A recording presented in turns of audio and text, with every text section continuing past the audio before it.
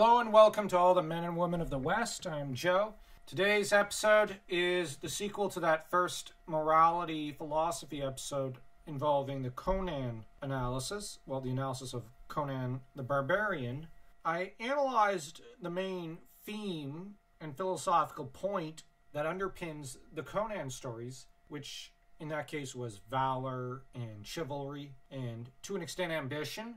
This episode is going to be more about Dragonlance and its moral underpinnings.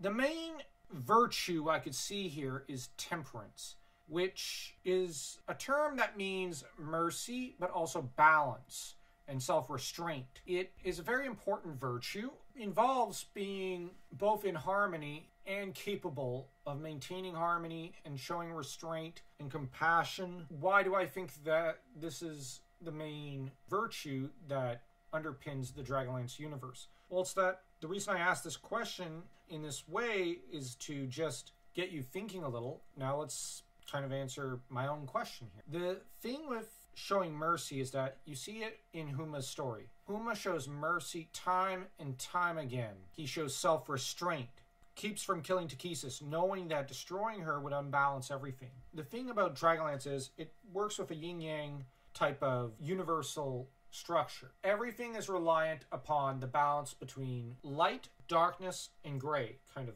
neutrality there. With neutrality acting like kind of the scales and light and darkness being weighed, the trouble is when one side gets to be a little too heavy, it throws the other off the scale. This balance between light and darkness is also within each individual. Everyone has this temptation that they face, which is pretty true to life. We all face the darkness in different ways. We're also sometimes blinded by our own ego, by our own kind of light, or we take pride in that we are capable of. For example, you may be good at sports and you may get blinded by the skills you demonstrate, and then you'll just, I don't know, screw it up, or you'll trip at the wrong moment when someone's telling you, well, you were flying too close to the sun there, slow down and you have the darkness, your greed, your gluttony, your lust, your pride, your wrath. You get the picture, your sloth, everything, and your darker side. You need to balance them because, for example, greed can be a good thing.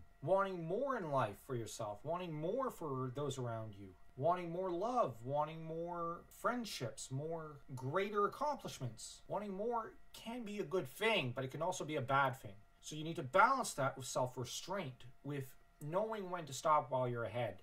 Huma exemplifies this kind of ideal. He's perfect, essentially. He's a very messianic character, especially if you look at temperance, mercy, and restraint as the primary virtues to look to for guidance. If you look at Raistlin, he's interesting. He is at times merciful, but lacks a lot of self restraint, but at other times has too much self restraint. He does not allow himself to love and be loved because he's afraid. The thing is, he does, however, show mercy to Bupu and continuous compassion, but he's unrestrained in his passion for his magic. It leads him down a dark path.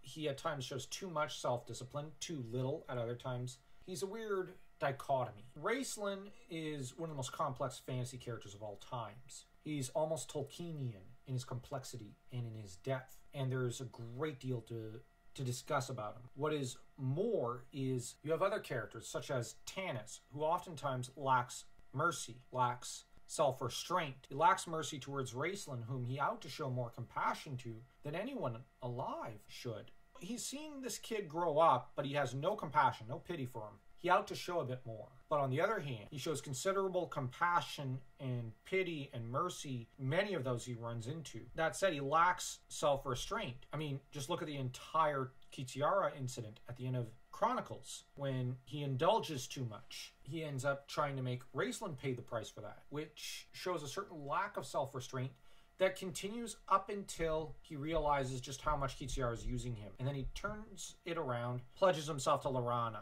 which I'll be honest, I really like that moment in the series. As it showcases that Tanis is finally he's finally become what he should be, what he was meant to be. You have in turn the internal struggle of Caramon between his love for his brother and his hatred for him, as he hates and despises Raistlin, but he also loves him. He despises him for being willing to kill him in the test. But on the other hand, he loves them because they're twins, they're brothers. So you have this constant internal struggle. You also have the external struggle between the forces of light and darkness. You have Paladine, who's very self aware of this need for balance, can't seem to communicate the importance of it to Takhisis, who has no regard whatsoever for the balance. She has no regard. She just wants to corrupt and destroy everything around her. I would argue she goes a great distance towards doing this. Prequel era, throughout the Age of Dreams, throughout you have the time when the King Priest shows up. I would say Takhisis was playing a bit of a role in that she's more subtly corrupting things at the edges. You have the King Priest who is blinded by his own ego, by his own greatness, one could say, and he becomes obsessed with light, but he doesn't regard Paladine as a source of light, but as an obstacle to the light that he thinks is within himself. When in reality, he's overcome by the darkness, so to speak. I'd argue he's probably inadvertently worshipping Takhisis. And I know that's a weird reading of the text, but it's fascinating what he's doing, what he's thinking. And there's a bit of a king priest of Istar in each of us. He's mad, he's perverted, he's horrible, he's fanatical. And we need to balance our pride with temperance, with self discipline, with self compassion, but also compassion for others. Mercy, we need this. And that's the thing that King Priest did not understand, did not know how to show to the world around him. When he says, Forgive me, Paladine, King Priest puts it in his own words, Palado Kalib, forgive me, which even Paladine tells Beldinas no, because Beldinas went too far. Now, if you've read the one short story,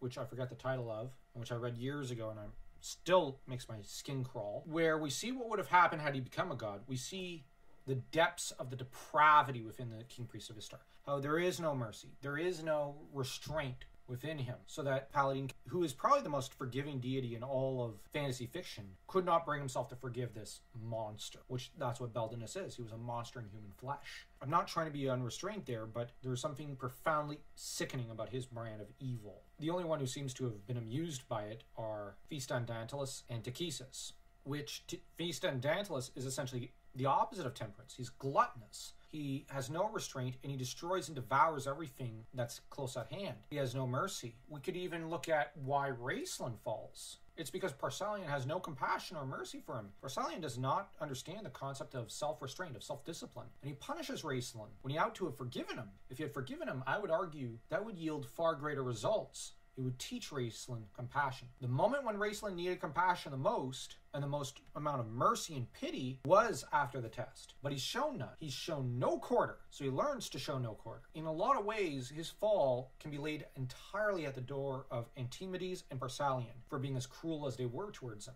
You look at those who managed to triumph over those around them. You look at Kith-Kanan. He continuously shows compassion, a little too much at times, but ultimately, why does he become remembered in history as a great leader? Because he constantly shows mercy. He shows self discipline. He knows when to temper compassion with discipline. This is temperance. Same with Huma. He's the most worshipped character in Dragonlance for a reason. Sturm Brightblade gets a, a, lot of worship. He may be one of my favorite characters, but let's give him some due criticism. He is cruel towards Raistlin for a long time. He's cruel to those weaker than himself. He acts like Derek Crownguard towards Raistlin. But then in the Chronicles, you see him learn, you see him grow. And so by the time his life comes to an end, he's full of compassion, of remorse, of pity, we see him become the champion and the hero we always knew he could be.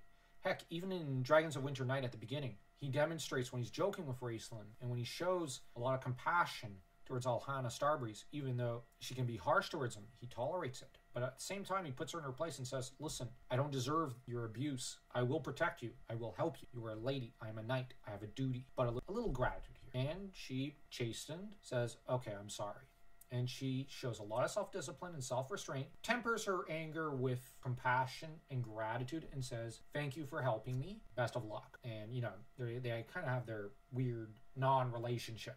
Both very fascinating characters. They're too much alike in some ways. This sense of temperance, this underpins the entirety of Dragonlance. Now, in Conan, the idea is the kingdom of ends but I'd argue that Dragonlance looks to the notion of Marcus Aurelius, where you must form yourself as the promontory and absorb the blow of the crushing sea or the crushing waves of the sea. And I really like this stoic philosophical outlook on life. The notion that, you know, stiff upper lip to an extent, but primarily you absorb the blow while it is within your power be good. Just that simple sentence right there is also something that underpins Dragonlance. If Conan represents Immanuel Kant's Kingdom of Ends philosophy, Dragonlance represents the philosophy of absorbing the blow and letting go of your anger and accepting those around you and knowing when to show compassion and pity and mercy and being good while it is within your power. That is what I would argue the philosophy of Dragonlance is. And this is why Dragonlance, I think, will continue to be read for many years to come and why it should continue to be read. The notion of temperance and of self restraint and compassion and mercy is very important. This is a very important idea of philosophy, and it's a reframing of Marcus Aurelius's Stoic philosophies. The reframing of this school of thought, so to speak, into a story is something I think Weis and Hickman did kind of on some level, if not consciously, at least unconscious. And next time we'll be dealing with Tolkien's main virtue and philosophy behind his universe. Don't forget to tell me what you think of this video. Like, smash that subscribe button like you're Skie trying to smash Sturm to itty bitty pieces.